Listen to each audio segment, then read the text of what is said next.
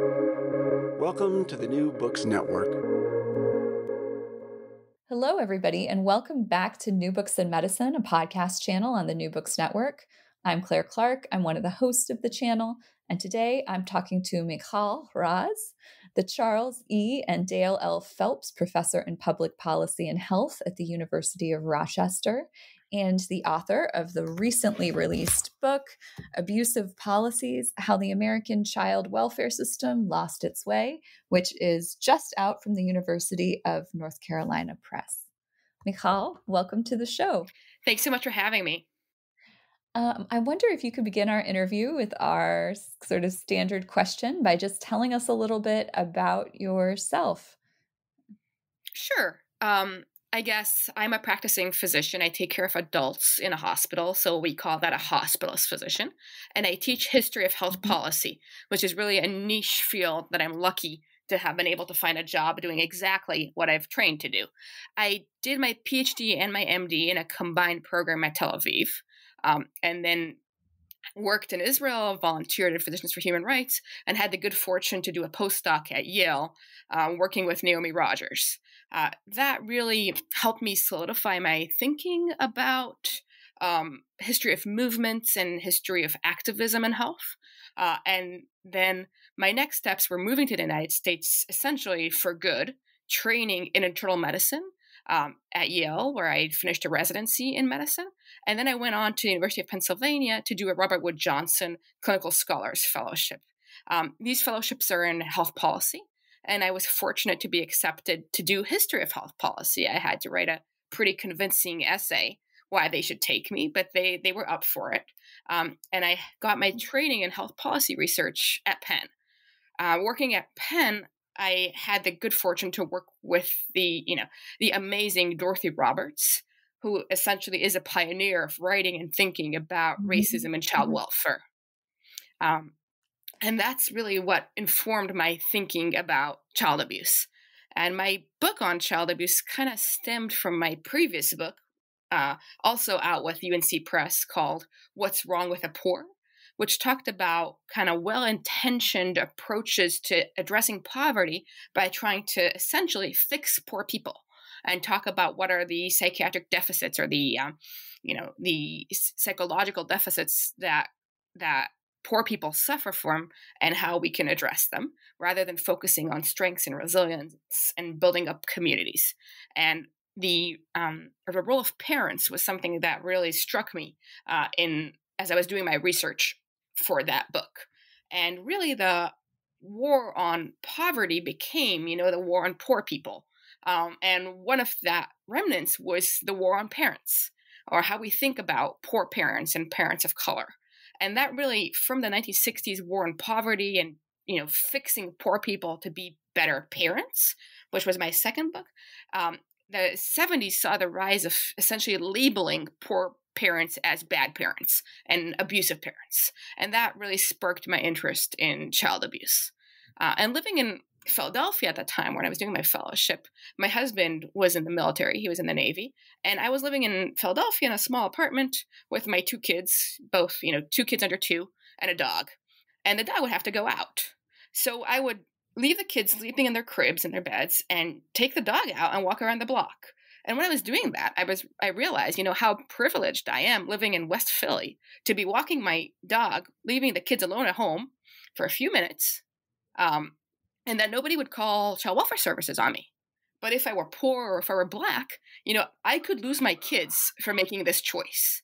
And to me, it seemed like a reasonable choice. It's maybe safer for me to walk the dog around the block with the kids tucked in bed than taking all the kids out with me and walking them in the cold and the dark to not leave them alone. But this was a calculation that I was allowed to choose and make, and that other women did not get that privilege to choose to make decisions about how they parent, what kind of risks they find acceptable, what kind of trade offs. And that really kind of helped me think about child abuse and what we think about in child abuse. And while I was in Philly, I got involved with a group of women activists uh, in a group called DHS Give Us Our Children Back. Um, and these women really um, volunteered to help each other and represent women who've lost their kids to uh, the welfare services. And listening to their stories, it struck me, you know, the differences between our lives, what choices I could make versus what choices they were not allowed to make. And these experiences really shaped my thinking about child abuse and child welfare interventions. Um, and together with the um, input from my mentors uh, at the time, also Robbie Arn- Aronowitz at Penn, uh, and I, um, I became really interested in trying to use history to think about the current challenges the child welfare system faces. Let's talk a little bit about how this is a medical problem right? So so how and when did child abuse come to be defined as a medical problem? And then um, you know how how would we teach medical students and trainees about child abuse you know in our undergraduate and graduate medical education? So children have been, you know, mistreated physically and sexually and emotionally in their homes since forever. But child abuse is a relatively new concept, uh, and it came into being in the 1960s. And there were a bunch of different factors that shaped the moment in which we identified a medical syndrome of child abuse. And these included, you know, the rise of pediatrics as a respectable medical profession, the rise of radiological studies that you could suddenly see fractures that were otherwise obscure. Uh, and generally, kind of this belief that there are social problems that we can use government interventions to fix, which was perhaps a somewhat naive approach that prevailed in the 60s. And in the early 60s, the first publication on this symptom of the battered child appeared in 1962 in the Journal of the American Medical Association in JAMA. And that quickly reverberated across the nation with uh, items written in the popular press and so on. Uh, and that article relied on, on x rays to show evidence of past fractures that we hadn't known of. Um, and really, with that article, which came at the right time, um, it set into motion this new definition of a medical problem of child abuse. Uh, and that's something to think about that when we think about child abuse today, when we think about the cases that are called to child protective services, only a very small minority involve physical abuse of children. Uh, and a smaller minority, thankfully, involve sexual abuse of children. The vast minority are reports of neglect. And neglect is an amorphous concept that is often confused with poverty. I mean, you know, how do you even define neglect in a country where people don't have uh, access to childcare, access to health, access to housing, access to food? You know, who is being abusive? But these um, gaps in what children need to thrive are often, you know, these gaps are often laid at the foot of parents who are blamed for what they are not providing for their children. So in many ways, we think about child abuse as a medical problem, and that has a history. But when we look, take a bigger step, we should think about, you know, a system that is not uh, providing for parents and children what they need to thrive. And then what do we teach medical students about this? Do we teach them I you know, I think this part of the argument that your book do do we teach them that um folks that come in that you know or children who present in a certain way need to be given resources or do we teach something else? So every single state in the United States has a mandated reporting law that requires um, certain individuals, or some states, all individuals, who suspect child abuse to report it. And these include all medical professionals. And medical students are really trained from the beginning of their medical studies about the value and need to report. So, any suspicion you need to report. And it's particularly drilled into medical students that it's not our job as medical professions, uh, it's not our job as medical professionals to investigate these concerns. But if we even think about it, if it even crosses our mind, we should call protective services.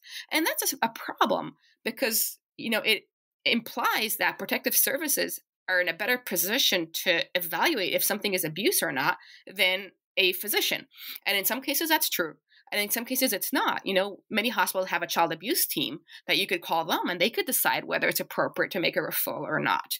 Uh, one of my colleagues, who's a child abuse physician at Penn, would say, you know, it's so frustrating when they call me to, to see a child, but they've already they've already reported it and to unreport a report to unring a bell is just impossible so the the always the um thinking is think less report more. And the think less is even kind of uh, something i'm quoting that was in the in the newspapers in the past because that's really how uh, training in medical schools uh, is approached. You don't need to think about it you don't need to investigate it you should report.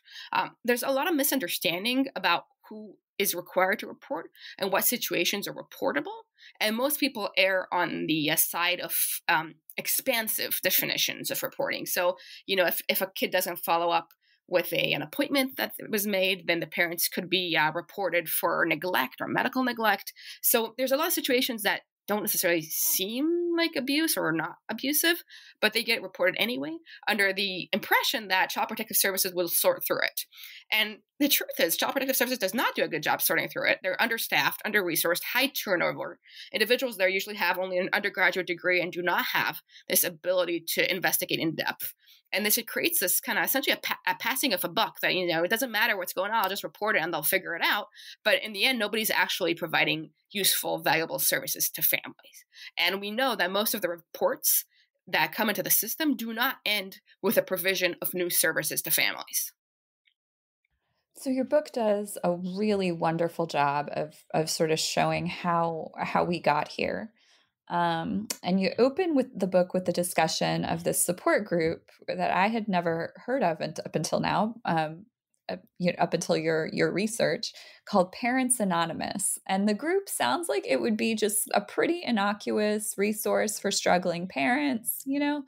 But um, what what the what you show in the book is that it this group really significantly influenced the development of child welfare policy um, and may, not necessarily and and you're a little bit critical critical of it right like not for the better so um, tell tell us about this what this group stood for and what their influence was. Yeah, sure. So Parents Anonymous uh, was um, founded in the early 70s by Jolly Kay. She, she went by a pseudonym. And she was a mother who uh, professed that she had abused her daughter and that she had been abused herself. She was um, very dramatic and opening about her struggles, and she was looking for a venue to get help. And together with her uh, psychiatric social worker, they said first it was called Mothers Anonymous, and later became Parents Anonymous.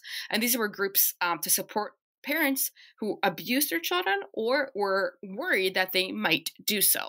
Uh, and they really um, kind of swept into prominence when she gave testimony eh, in the in federal hearings about the Child Abuse and Protection Treatment Act. Uh, and this, in these hearings were 1973. The act passed in 1974. Um, and her telling of the story was essentially like a sinner who repented. You know, I was an abuser. I took responsibility on myself. I no longer abuse.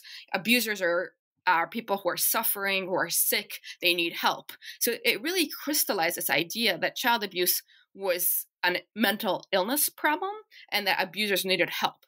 And this was in contrast uh, to what was known by researchers in the time of child welfare researchers that child abuse was closely related to racism and to poverty that people at homes that, that, didn't have telephones in which parents were isolated had higher rates of abuse that parents who suffered from racism were not able to obtain jobs uh, joblessness were not able to find homes because of discrimination all these were uh, risk factors for abuse. So it's not a story about how poor people or about how certain minorities abuse their children more than others but rather how these stresses that families experience are risk factors for abuse, and also how increased surveillance causes more reports of abuse. Uh, and what uh, this group and Jolly Kay, who was founding this group, did is they whitewashed child abuse into a uh, middle class everyday problem and kind of diluted the concept so much that essentially all of us are child abusers. Um, all kinds of abuse are equal. Emotional abuse is the same thing as physical or sexual abuse. And that what you need to do is take personal responsibility and um, participate in a support club. And none of this really addressed the root factors of abuse or offered valuable services to families. Um, and it really shaped the um, public discourse and the policymakers' discourse on how we should think about child abuse. It was essentially a missed opportunity to intervene at the root causes. Um, and what was interesting, these groups, they got a lot of federal money because with the passage of CAPTA, there were federal funds available. And essentially, it was a giant grift. These people employed themselves. They each group was tiny. There were like four participants, of which two were salaried. Uh, they had ridiculous budgets for expenses and travel. Um, and most of the work they did were, I mean, all the work they did was not with abused kids. Little of it, of it was with abusive parents, and most of it was essentially public service announcements and glorifying their own work. And if you look at the surveys that were happening at the time for this group, then you can see that the majority of the parents who joined Parents Anonymous did not abuse their kids. And even those who identified as abusing their kids said that they verbally abused their kids. Now, you know, I'm a parent myself. Parenting is hard. It really is. And we want to be the best parents we can. And a support group that tells you, you know, it's fine to be angry at your kid, you know, this is how you, you deal with these feelings, that's great. But that has absolutely zero to do with child abuse and with child abuse policymaking. And the problem is it became all a spectrum of kind of white parenting woes rather than an intervention to reach out to children who really were uh, in need of uh, assistance. Um, to back up a little bit, what's CAPTA? Uh, CAPTA is a Child Abuse and Prevention Treatment Act that passed in early 1974. Um, in the 60s, uh, after we defined child abuse as a medical syndrome, states scrambled to pass laws requiring reporting of child abuse. And by 1967, all states had a child abuse law on the books, but these laws differed. And CAPTA set a federal standard for what child abuse laws should look like in different states. Uh, and they used a carrot of funding to make sure that states complied with these federal guidelines. It is still in place today, uh, and one of its most recent and, in my mind, destructive um, things that CAPTA has done is to, to expand definitions of maternal drug abuse during pregnancy as something that is governed under laws of child abuse. All right. Well, I'm, I'm, before before before we deal with that because the book has a very powerful ending that um, kind of incorporates this like some of the some of the fallout from these policies. Um, I wondered if you could tell us a little bit more about some of the researchers who emph- emphasized more social determinants of health rather than these individual focused, eh, you know, individual psychological interventions um, for preventing child abuse. So, what kinds of programs and policies were they recommending? Um, and then, why was their advocacy ultimately unsuccessful? And the more kind of parents anonymous uh, viewpoint won out? Sure. Um, so, you know, by the 70s, there was little appetite for programs that sounded community based or anti poverty. You know, after the backlash to the um, Great Society programs and poverty, the war on poverty, then people weren't really interested in being caught up in programs that targeted poverty. Um, and really, most of the researchers who looked at child abuse found that poverty and racism were risk factors and that these should be addressed. But you know certainly you can't say we're going to sit here and do nothing until we fix poverty. So they did have ideas for providing services for families and in new york they had a program that ran that was a respite program that families who were struggling with childcare could bring their kids and get a break and, and kind of get their lives together uh, for a while and have their kids return to them so there were different models to think about it, but none of them were as compelling as the idea that all we have to do is encourage individual parents to take responsibility and to change their behavior, which is, you know, in its in its essence, uh, an American narrative of redemption, of personal responsibility. And in the 70s, that reverberated. Also, it's way cheaper to fund parent groups than to fund programs that really provide resources and support to struggling families. So there were interventions in the 70s that were designed to support families in different ways, but they remained underfunded and unpopular and did not really um, did not really result in the same kind of nationwide excitement and and beliefs as the Parents Anonymous model yeah, it's also you know it was a time where when we when a lot of children were removed from their families and there was a lot of attention on the plight of Native American children who were removed at astronomical rates from their homes um, for concerns for abuse and neglect, often having to do with cultural differences as well as alcohol use uh, in Native families. And so, really, the programs that were designed to support families and and and preserve the integrity of families and offer services uh, didn't really get a lot of attention. And instead, what happens, you write that in the 60s and 70s, like the physician child encounter comes to be seen as this perfect opportunity for intervention, the opportunity to detect abuse that may or that seems like it may be hidden. Um, and so, you know, how how does this how does this happen? And then how do we come to invest in mandatory reporting over the provision of of child welfare social services? Well, in medicine, we always have this idea that early detection is better. Uh, and it's not always true. I mean, sometimes early detection of cancer just causes you to detect earlier cancer rather than, you know, extend lives or offer treatment. So we don't, it's not always true that early detection is better, but we certainly believe that as a public health uh, approach. And detecting became the new, you know, the new um, uh, oh, sorry. So, so detection became the new emphasis and trying to weed out the children who were not reported and, and the children trying to make sure that they're all getting the focus on detection, which it really stems from a public health approach, became the new way to think about child abuse. And it's true that a lot of kids who were being abused at their home weren't being called into attention. And in fact, some children were hurt and some children died. But the answer to that is not mass reporting of children for being, you know, poor. poor. But it did set the stage for this new idea that you know we have to report suspicion and that uh, and, uh, referral to child protective services is always a first step.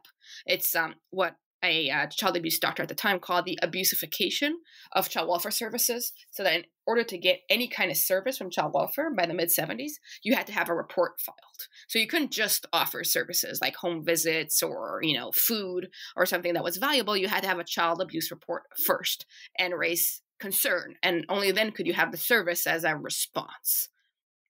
So it really um, kind of inserted a element of surveillance and investigation into the um, provision of services. And by the 70s and 80s, there was a shift in focus from the provision of services in child welfare to essentially becoming an agency of investigation, uh, of investigation and ultimately coercive interventions, like requiring certain interventions and ultimately removal of children. One thing that I really like about this book um, is that, in contrast to to some, eh, you know, history of, of, medicine books, and I think this must be because of of your training and policy, um, you do not shy away from talking about um, making judgments about which of these policies were more and less effective. Um, what evidence is there for the effectiveness of mandatory reporting? Yeah, that's something that really struck me when I was researching this book is how little evidence there was for anything that was being done. Um, and just policy was made in the complete absence of evidence. Uh, and then it, you know, and, and then it perpetuated. And I show in the book, you know, one area they were talking about, you know, how, what kind of statutes should we have for reporting? And one question that came up would be was, should we have harsh punishments for failure to report? And there really was no evidence to support this. And a bunch of people raised their concern that this would create too much reporting and people would feel compelled to report by, you know, that they would risk being punished if they didn't report and that this might have um, unintended consequences. And ultimately, the group that was looking at these um, suggestions came out and said, you know, there was a big debate about should we have uh, penalties or not and these were both sides and we decided to include the penalties because there is no evidence that they don't work. And i was like what? You don't need evidence they don't work. You need evidence they do work. And there was absolutely no evidence that they worked. And in fact there was evidence that showed you know there was there were studies that showed why do people fail to report? And there were a whole bunch of different reasons such as you know fail to recognize abuse you thought you could handle it yourself you didn't trust the child welfare agencies it's you didn't want to get involved. But no nowhere was it the penalties were too low and that's never been an issue. And yet in the 70s they decided to expand penalties for not reporting.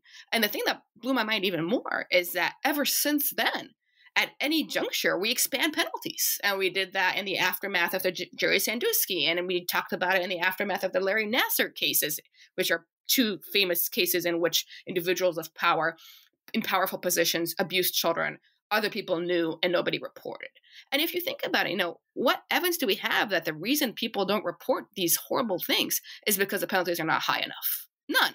We just want a way to retroactively punish people that we think failed in what we want them to do, which is to report.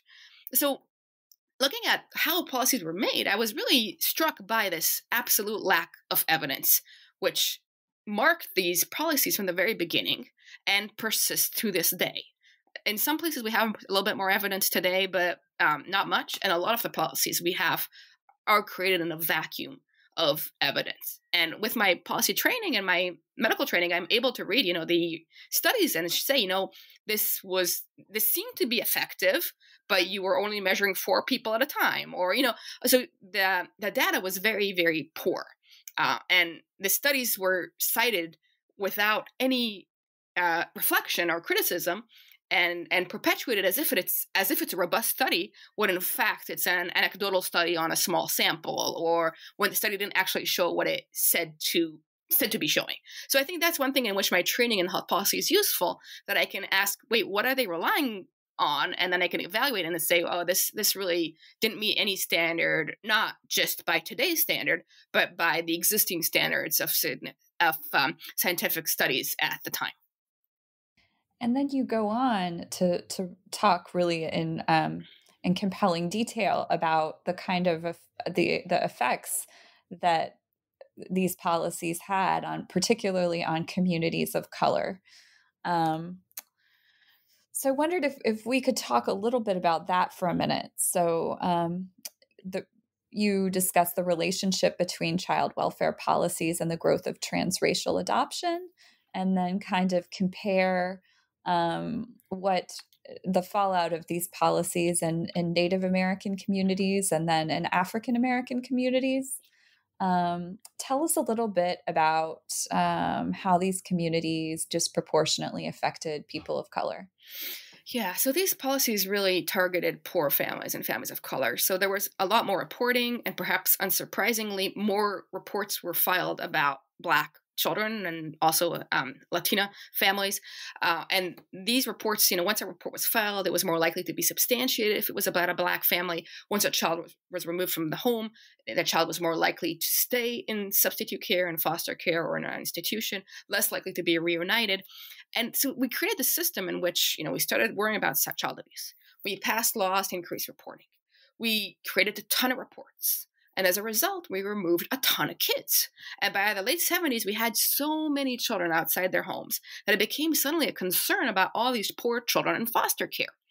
Um, and that's really the backdrop for the passage of the um, Adoption and Child Welfare Act that passes in 1980. And so, and the, that that act was designed to do two things. It was designed to reduce the number of children and foster care in two ways. One is to provide ser- services to keep children at home, so the permanency planning. And sorry, one, I'll backtrack. So the this act, the that passed in 1980, was designed to reduce the number of children in foster care. And it did in two ways. One was to provide more services to keep children in their homes. And second was to allow children to be adopted into families for a permanent um, for a permanent home or permanent solution.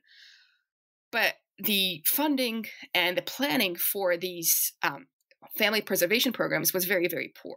So the unintended consequence of this act that passed to reduce children in foster care was that these preserva- family preservation programs failed or were portrayed as failing.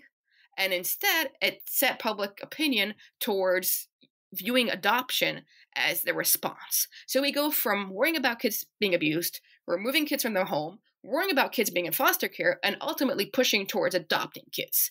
And in that way, this whole child welfare system becomes a way in which we procure children from poor families to place into middle class homes.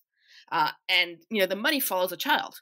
The families who provide foster care are paid to provide foster care. And I'm not saying that they're doing this for the money or that they're, you know, that they're getting rich off this. I mean, many foster parents are very dedicated to the well-being of children. But if this money could be reinvested in communities instead of following the child to a foster care home, then children could you know successfully remain in their homes and have their needs tended to and families could thrive. Instead the children and the money are taken out of the communities. And ultimately that ends with the um, adoption safe families act which shortens the timeline for adoption and termination of parental rights. And families experience the ultimate destruction of their family integrity the termination of parental rights and placement of children uh, in adoptive families uh, permanently.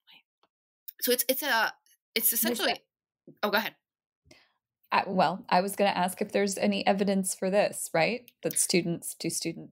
I mean, do do, do children do better in?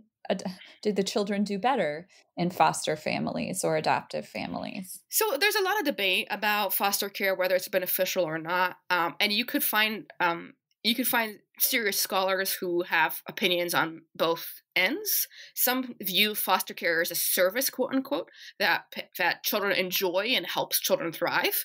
Uh, that might be the case and there i don't want to discredit the accounts of children who will tell you that they they did personally thrive in foster care but as a whole removing children from their homes is detrimental to their families and to their communities and in many studies it shows that it has long-term detrimental effects on kids too.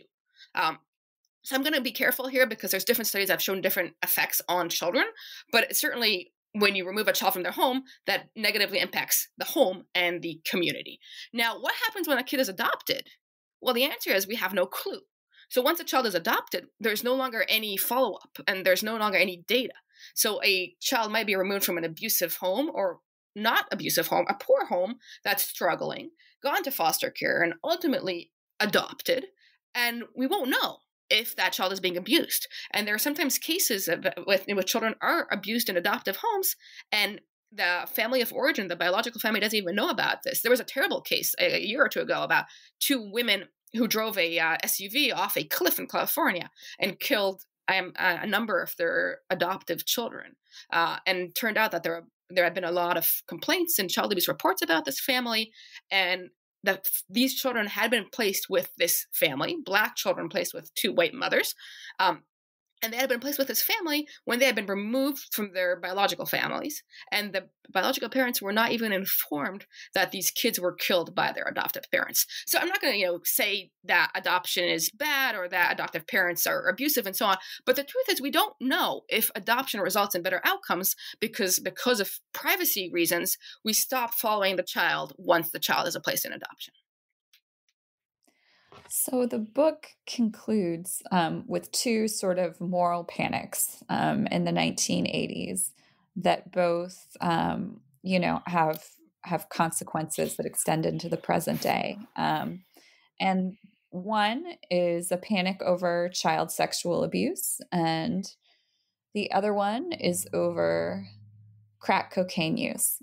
Um, and you ta- you write about how these panics contribute to a two tier system of aid um, one tier for, for white children and families and one tier for, tier for black children and families. Can you tell us a little bit about um, these, uh, these issues and how they relate to each other?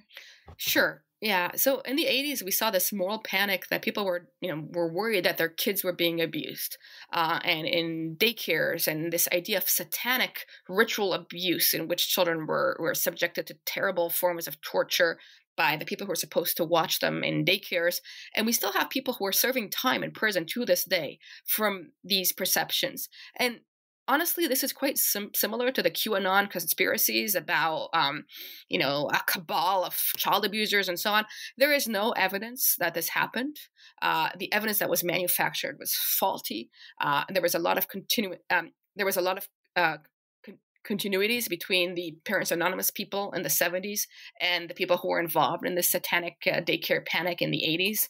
Uh, and the truth is that you know they were working in with the absolute absence of data of absence of evidence. And probably the only abuse that happened was the um, relentless investigations that these children um, underwent, including uh, with anatomical dolls, anatomically correct dolls, which there was no evidence to support that use, and which, you know, this today they say, oh, show me on the doll where that person hurt you, where they were supposed to show on the doll and play with the doll. And essentially anything the child did was taken as evidence of abuse. And if you read the transcripts of the interviews, you know, by today's standards, it's it's certainly uh, appalling.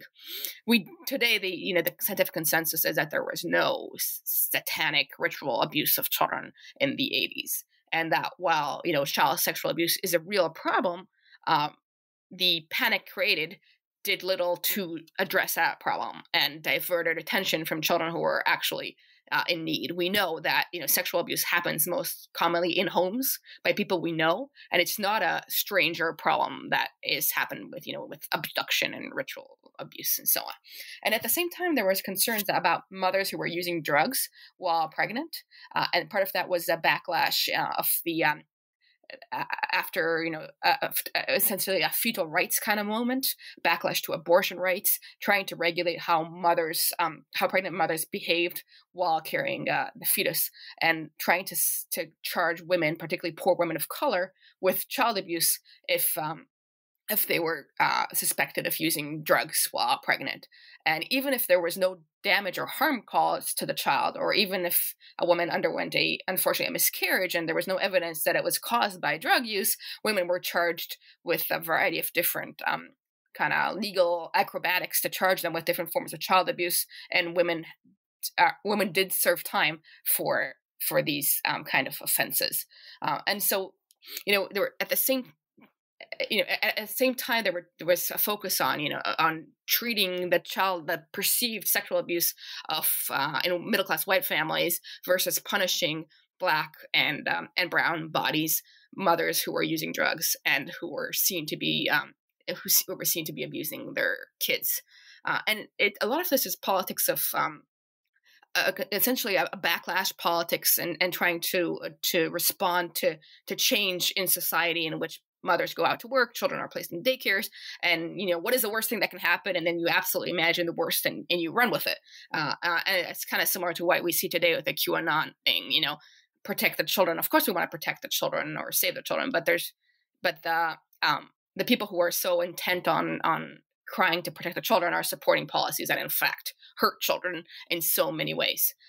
So it's it's an interesting moment here in the 80s that I think is informative for today as we deal with these questions of you know how do we even how do we even address these bizarre conspiracies and claims about hurt about harm to children in our society today when we can't even um, agree on one concept of reality or, or truth. So it's two tiers, but like neither of the tiers seem very effective. Am I am I wrong? well, I mean, in some um, in some ways, you know, calling attention to sexual abuse is valuable, so that more children would come, you know, would be identified and so on. So it might be the silver lining of that. But yeah, no, it was terrible. I mean, the se- child sexual abuse panic of the '80s was absolutely terrible. People went to jail. People lost their jobs. Moms were petrified that their kids were being abused because experts told them that they were abused, even when they weren't. It, it, it ruined families. It, it you know, it, it ruined careers. It, it, was absolutely terrible. And the same thing goes for women who use drugs. Instead of offering them treatment, we think about addiction as a as a disease, as a, a relapsing, remitting disorder that needs to be treated. But you know, especially for poor women who are in state insurance, there are almost no no places that take pregnant mothers and treat them and that accept accept Medicaid, and that's a problem to this day. So instead of offering them treatment, we're offering them punishment and even you know prison. So, and moms did go to prison. And what, you know, what worse outcome for a child would be to lose their mother to prison rather than caring for this child. I mean, it's it's just unbelievable. Women who are separate, breastfeeding mothers who are separate from their children. It's just um, it, the heartbreak is is so intense, and in particular, so unnecessary uh, instead of thinking about policies that actually help families and children uh, and that's really a, a, recurring theme you know in our country where we our, our policies mm-hmm. are so anti-child um, we you know c- kids don't have access to services don't have access to food don't have access to health insurance uh, but then we punish their parents for not being able to access the things that kids need in order to thrive so, and then, you know, what, what happens in the end? A child is separated from their parent, a parent is punished, a parent goes to jail. None of this is good for families.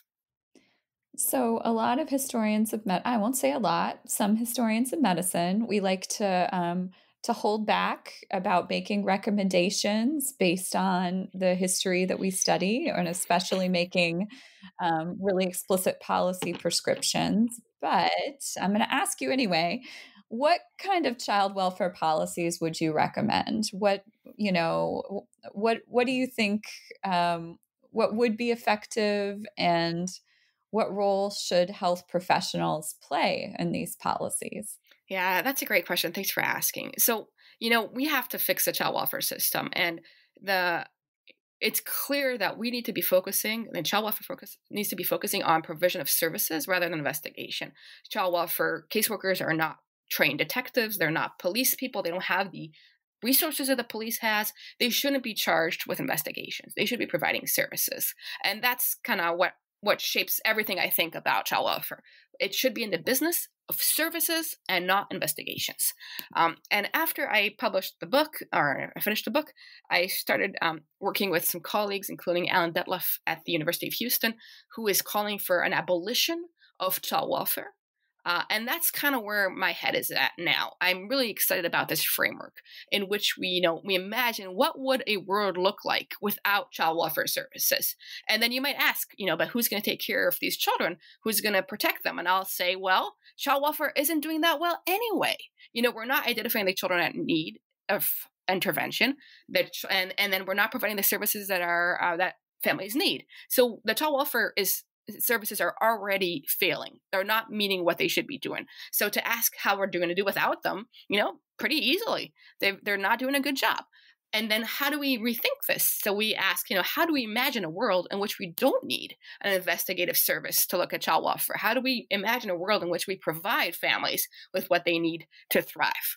But then you say, oh, well, but that's, you know, right now there's a kid being abused. What do I do about that? And I guess that's where I end up in my book, you know? So if a child is being abused, that's a crime. And that should be reported to the police. We should remove investigative powers from child welfare agencies. They should be providing child welfare services. Uh, if you're worried about a crime, there should be a, a specific investigative body uh, within the police, which is monitored for disproportionality, uh, which will address investigations. But we shouldn't have the same people who provide services to be the ones who remove children from their homes. Uh, and then you ask, you know, why don't poor people want to engage in services? Well, because you're threatening them with removing their kids. Or if you bring them to the house, they'll start looking through you know your cupboards and reporting you for lacking what they think is needed in the home.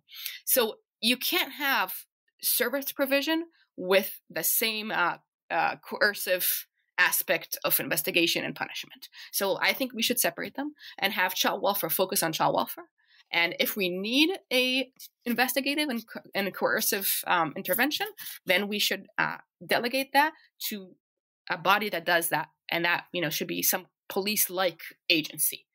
But we shouldn't have this coming from the same place. Uh, we shouldn't be expecting to be helping people under the uh, threat of child removal.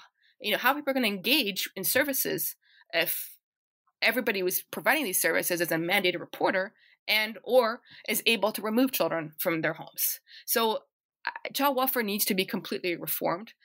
My personal um, preferred policy is to you know think about this as let's think about a world in which we don't actually need these services what would it take to help families you know thrive and prosper uh, but before we can you know fix that we should at least take these few steps in which we refocus child welfare on child welfare so there's a lot of a lot of policy work, a lot of advocacy work to be done on this is- issue.